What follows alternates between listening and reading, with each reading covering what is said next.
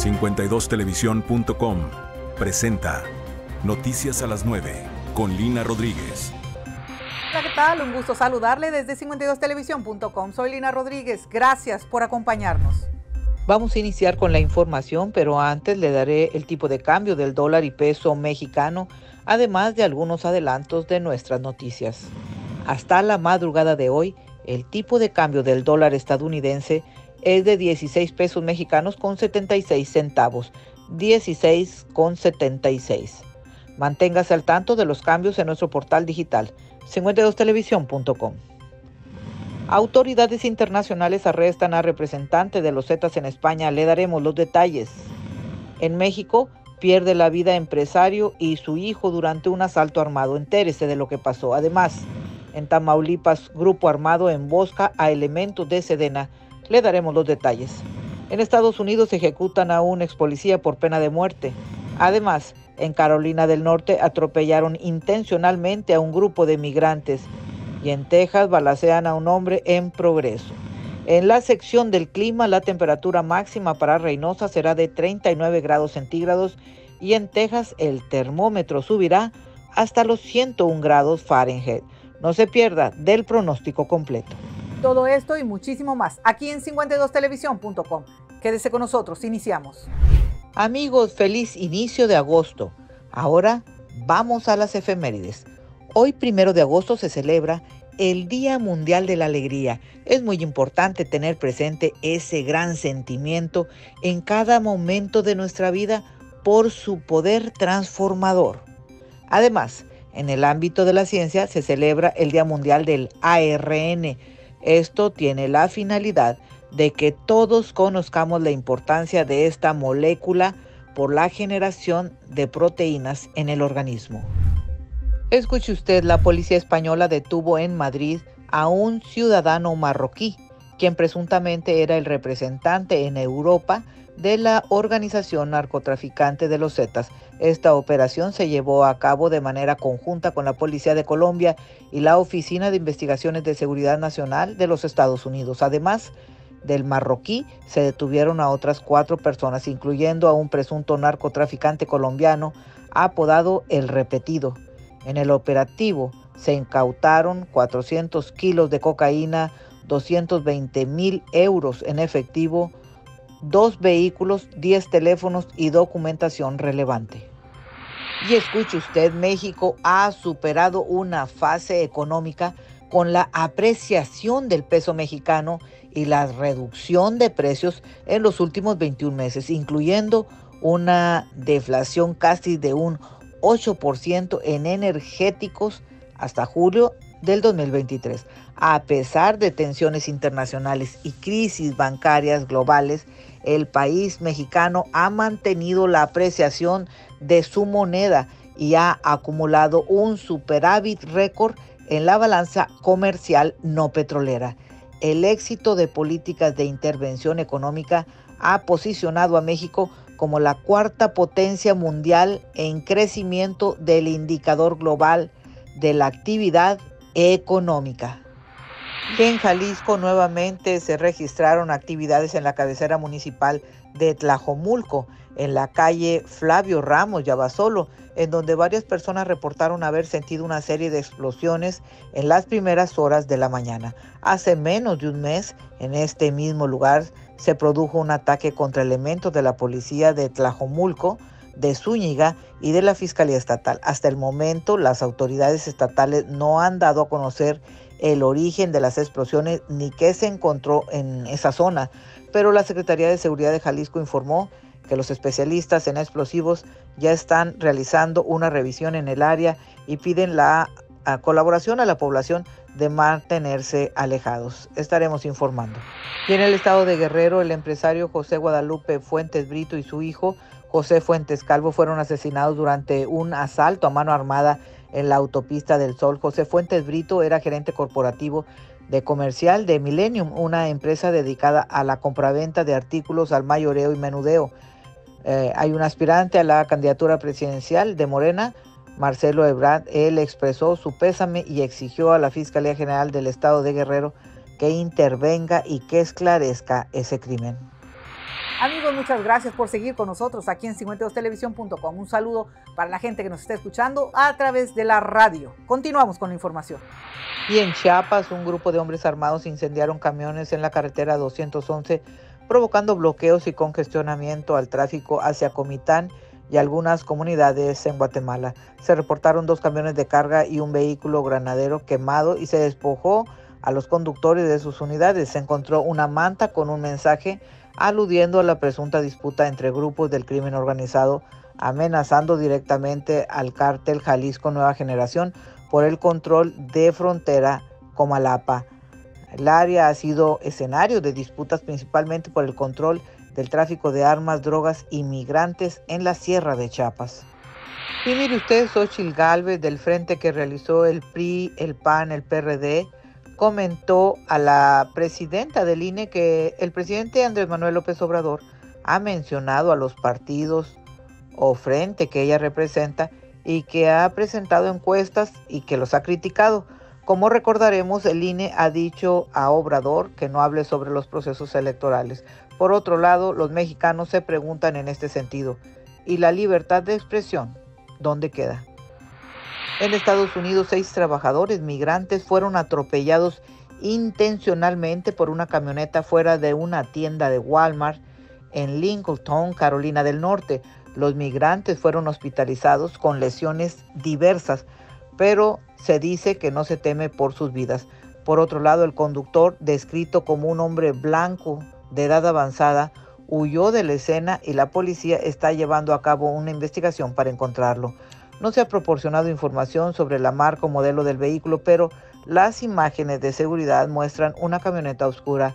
Los motivos del sospechoso aún están bajo investigación y los migrantes atropellados aseguran no tener relación con ese conductor.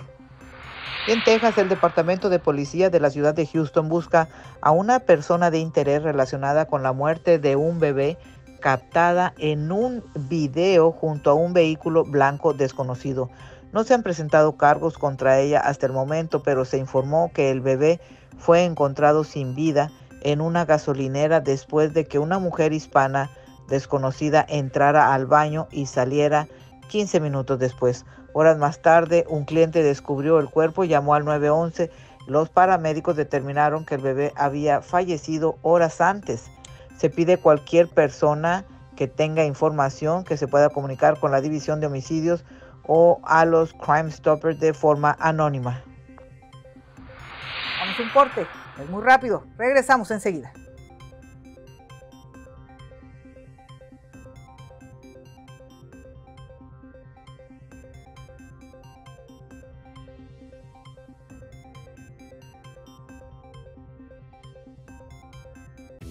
Luce radiante este 2023 con los tratamientos que Antique Salon Spa tiene para ti aplicación de Botox, extensiones de pestañas, rinomodelación y relleno de labios. Pregunta por más de nuestros tratamientos y servicios. Con la garantía y confianza de ser atendido por profesionales en cosmetología de Antique Salon Spa. Agenda tu cita al WhatsApp 899-968-2071 o visita nuestras redes sociales. Antique Salon Spa.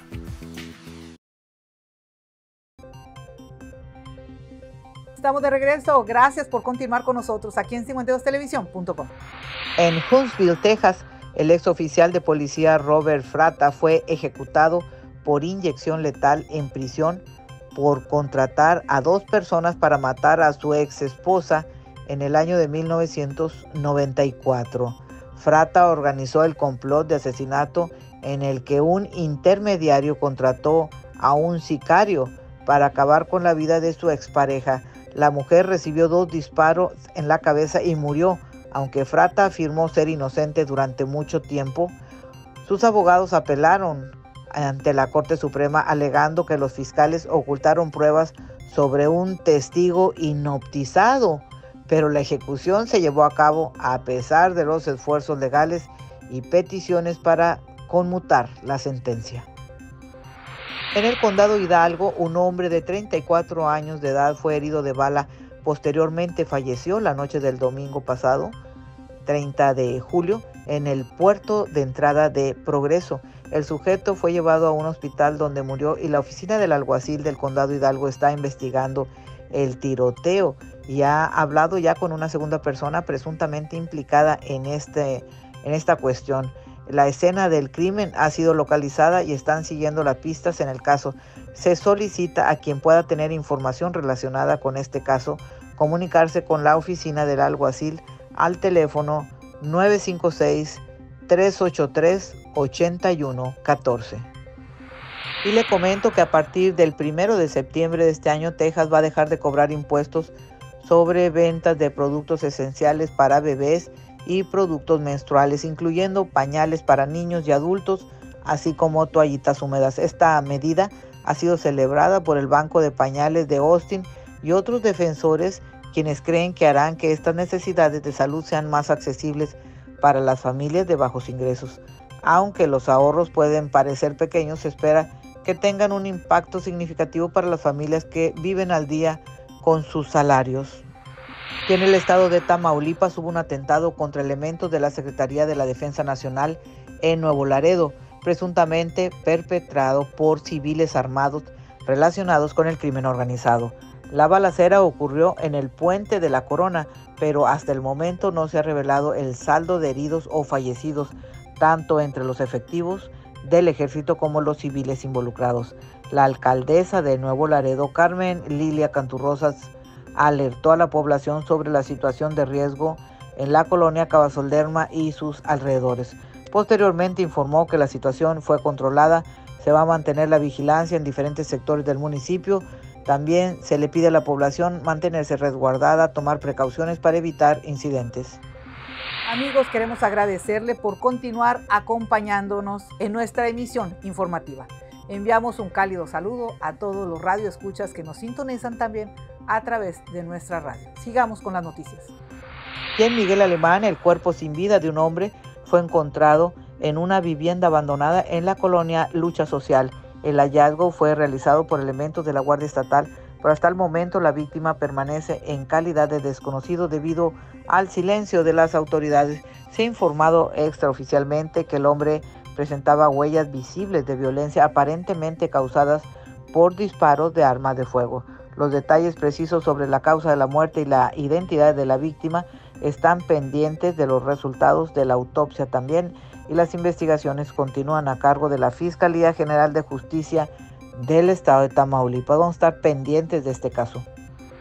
En el estado de Nuevo León, los municipios periféricos de Monterrey como Suazua, Ciénega de Flores, Pesquería, Salinas, Victoria y El Carmen han registrado un aumento en los delitos violentos, especialmente de homicidios. Por ejemplo, en Suazua los homicidios aumentaron un 45% de enero a junio del año pasado, comparado con el presente año. Los eh, eh, municipios centrales de Monterrey han visto una disminución de delitos como en un 54%. En la, esta reducción se registró en la cuestión de robo a casas habitación en este año. Los expertos indican que alcaldes eh, han estado rebasados en su respuesta por la inseguridad y los ciudadanos piden medidas efectivas para combatir este gran problema. Y mire usted, a ver qué piensa. En el municipio de Santiago, de Villa Santiago, Nuevo León, los habitantes del Cercado, es un pueblo muy bonito ahí, bueno, pues resulta que presenciaron un, un avistamiento. Dijeron que era un supuesto objeto volador no identificado. Ya sabe usted que si es un objeto volador no identificado, no quiere decir que haya marcianos o así, sino quiere decir ovni, objeto volador no identificado. Bueno, eso dijeron que lo vieron el sábado en la madrugada. Hay una persona que grabó el, objeto en, en video y que se movía a altas velocidades, realizaba supuestas maniobras en el cielo. El avistamiento ha causado polémica en las redes sociales y bueno, pues algunos creen en la existencia de los extraterrestres y otros dicen que era un dron. Y todo esto porque, bueno, pues es que en Estados Unidos un exoficial de inteligencia hace una semana habló como que existen los ovnis y entonces pues la gente está más propensa a creer que ver algunas de estas cosas. El suceso ha generado interés y debate en la comunidad local. ¿Usted qué piensa? Y amigos, rápidamente les recuerdo que mañana miércoles 2 de agosto se cierra el ciclo de noches de verano en Museo Marco de Monterrey, Nuevo León. Estos eventos se llevaron a cabo todos los miércoles del mes de julio debido a la celebración del 32 aniversario de este hermoso museo Marco en Monterrey. Inició el 28 de junio. Recordarán, aquí lo pasamos con el cantante de la agrupación Kinky fungiendo como DJ y cierra, justamente el mismo Gil Cerezo. Todos están invitados de 6 de la tarde a 10 de la noche. Se presentaron, recuerden también, DJ Pato Machete de Control Machete, DJ Rosso de Plastilina Mosh, Toy Selecta. La entrada al museo es completamente gratis, es libre durante toda la jornada de este miércoles. Recuerden los horarios, se los acabo de decir, tienen un horario extendido. Así que pues hay ingreso ahí a la fiesta y venden bebidas, snacks Recuerden, de 6 de la tarde a 10 de la noche. Vamos a entrar ahora a la sección de Alerta Amber con nuestra compañera Verónica. Adelante, te escuchamos. Hola Lina, entramos a dar la información de la Alerta Amber. Aquí buscamos a personas desaparecidas en las comunidades del país. Afortunadamente, la joven de 15 años de edad, de nombre Mariana Delgadillo Navarro, que fue vista por última vez el día 8 de marzo de 2023 en Guadalajara, Jalisco, ya fue localizada Cualquier información para encontrar a otros comuníquese al teléfono 55 53 46 25 16. Sumémonos a la búsqueda. 52 Televisión al servicio de la comunidad. Muchísimas gracias, Verónica. Ahora sí, tiempo de un corte comercial. Regresamos enseguida, no se vayan.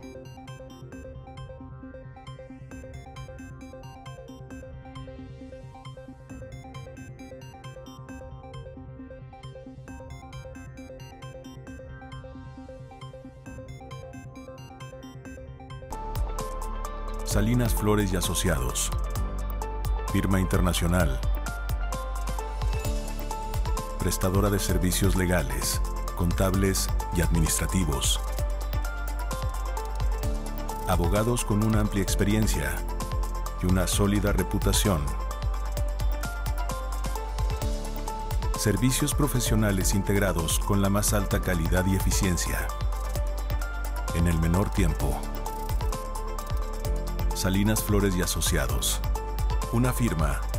Todos los servicios. Estamos de regreso. Gracias por continuar con nosotros. Mire qué bonito se ve ahí, viéndonos, siempre atento, aquí en 52televisión.com. ¿Qué le parece si nos vamos a revisar cómo va a estar el clima? Ya saben que calor o más calor. Bueno, le vamos a presentar las gráficas semanales actualizadas para que usted esté al pendiente de la condición climática de toda la semana. Veamos cómo estará el clima esta semana. Las condiciones climatológicas para el Valle de Texas tendremos un clima semi-nublado toda la semana con temperaturas mínimas de 26 y máxima de 39 grados. En el estado de Tamaulipas, igualmente estará semi-nublado toda la semana con temperaturas mínimas de 23 grados yendo a los 39 grados. En Nuevo León los valores en el termómetro irán de los 23 como mínima a los 37 grados como máxima y estará soleado con unas cuantas nubes.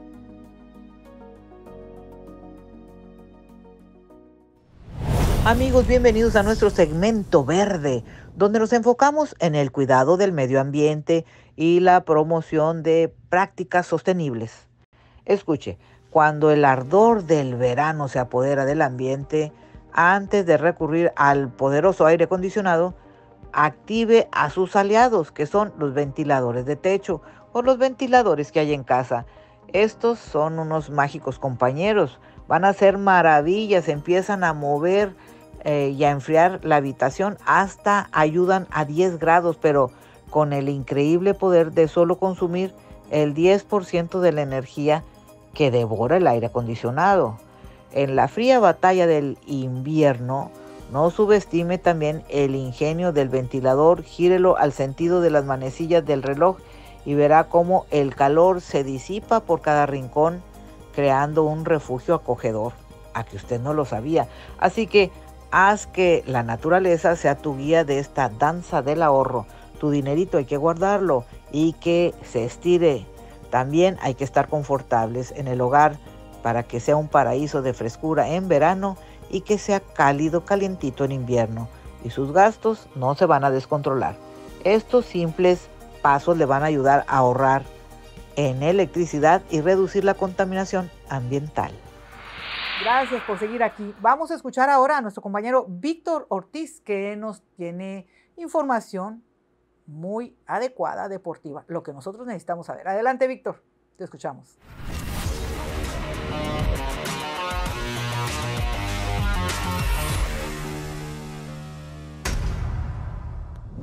Hola Leina, ¿cómo estamos? Excelente martes. Vámonos a los deportes. Dani Álvarez será procesado a juicio por abuso sexual. La jueza que lleva el caso de Dani Álvarez ha concluido y, dice que existen suficientes elementos para procesar al exfutbolista brasileño por abuso sexual. Se determinó como fecha límite el 3 de agosto para la declaración de Álvarez, previo al juicio, un trámite que se hace comúnmente antes del mismo. El juzgado 15 de Barcelona dio por finalizada la investigación y se le puso al brasileño una fianza de 150 mil euros. Dani Álvarez ya han pasado más de seis meses en la cárcel luego de haber sido acusado de violación en diciembre del 2022 en la discoteca Subton en Barcelona, España. Ante esta situación, la defensa del brasileño no va a interponer recursos y va a seguir continuando en prisión preventiva. Ahora solo queda esperar si las acusaciones se concretan para alcanzar la petición de sentencia, la cual ronda de los 10 años de prisión. Pues ahí está estas noticias con Dani Álvarez, qué lamentable. Vámonos con más deporte. Vámonos con más deporte, señores. Fernando Hernández cumple la sanción y podrá volver a pitar el torneo anterior. El silbante agregó al jugador de León, Lucas Romero, al que se le dio un rodillazo y la sanción para Hernández fue derivada del artículo 30, inciso G del reglamento de sanciones de la Federación Mexicana de Fútbol y vino tras lo ocurrido el 4 de abril del 2023 en el partido entre América y León. Durante la jornada 13 del torneo Clausura 2023 indicó la disciplina en su comunicado. Ahí está, Fernando Hernández ya va a volver a pitar ahora sí los partidos. Ojalá no se le vuelva pues ocurrir pegarle a un jugador. Y en más noticias de deportes se estrena Dinora en el torneo. Fue un gran golazo, un tiro desde fuera del área que significó el 1 a 0 de las felinas en el triunfo por goleada de 4 a 1 sobre el Atlas en la jornada 2.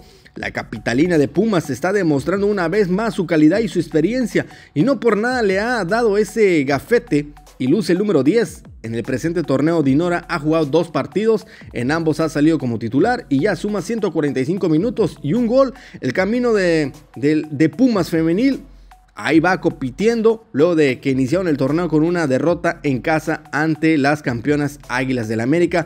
Pues ahí está nuestra reinocense Dinora poniendo el ejemplo de Reynosa en lo alto y más que nada ya metiendo un gol en esta jornada 2. Ahí está demostrando por qué es una de las mejores futbolistas de Reynosa y poniendo su granito de arena allá en la Liga MX en la categoría femenil. Bueno, Lina, regresamos al estudio, lo que tenemos en los deportes. Les informó Víctor Ortiz y que ruede el balón.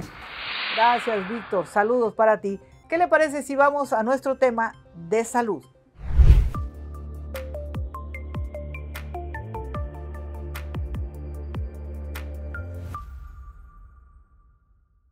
Escuche esta maravillosa noticia del aceite de pescado, un tesoro para cuidar su cuerpo y su mente.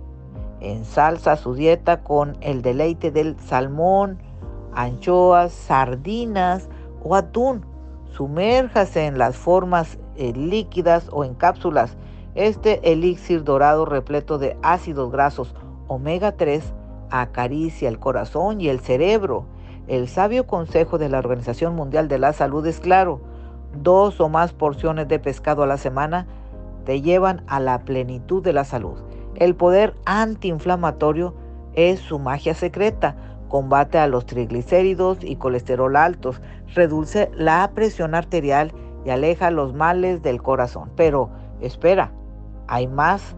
Este bálsamo divino en la batalla contra la artritis reumatoide su poder se hace sentir, alivia el dolor, mejora la rigidez y da alivio a las articulaciones sensibles.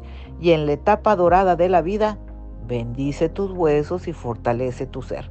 La osteoporosis y osteoartritis temen su presencia, así es que no olvides este sabio consejo. Escucha a lo que te lleva el aceite de pescado, un tesoro para tu cuerpo. Tiempo de ir a un corte comercial. Regresamos con más noticias aquí en 52televisión.com.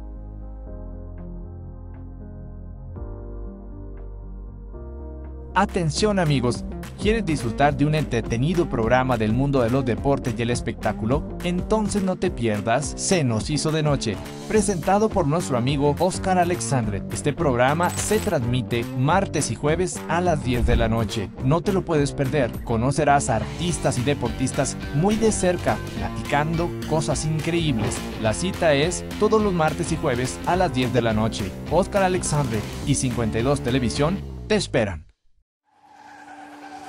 Todos estamos propensos a esto. Recuerda, en tu accidente vehicular, a tus amigos debes llamar. Si esto sucede, no lo pienses. Llama a nuestras oficinas 631-9100. Villeda y Asociados.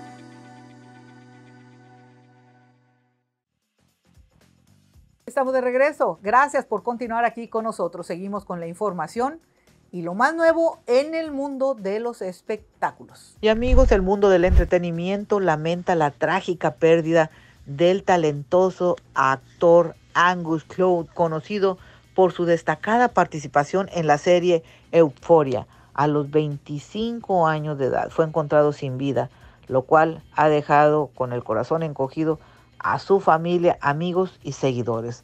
Aunque no se han proporcionado hasta ahora detalles sobre la causa de la muerte, la familia compartió que el actor había atravesado momentos muy difíciles recientemente, incluyendo la pérdida de su padre, quien era su mejor amigo. Angus había hablado abiertamente sobre su lucha con la salud mental y ahora sus seres queridos esperan que su partida sirva para recordar a otras personas que no están solos en sus batallas. Y bueno, en México el comediante Ricardo Farri publicó un video donde se disculpa con sus compañeros estanduperos a quienes se cansó de insultar hace meses y reveló grandes secretos en redes. Tras las polémicas, pues fue llevado a una clínica, se reportó como desaparecido, aunque luego su familia lo desmintió. En ese video pues ofrece disculpas a mucha gente entre ellos a Sofía Niño de Rivera, a Diego Sanasi, etcétera.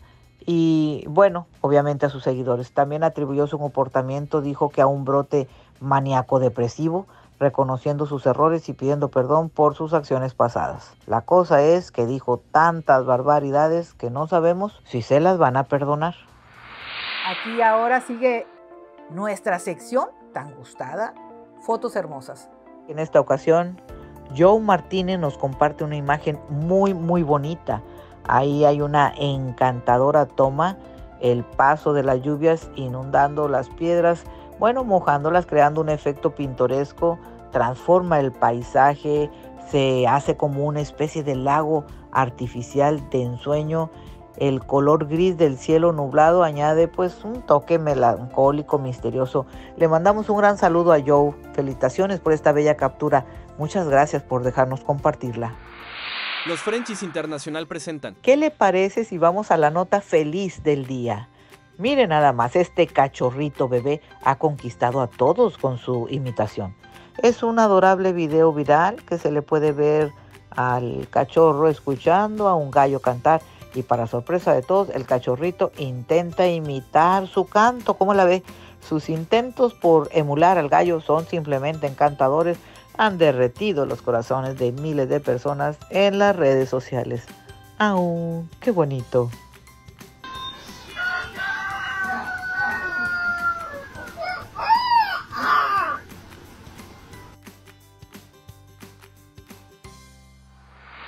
¿Cómo la ve?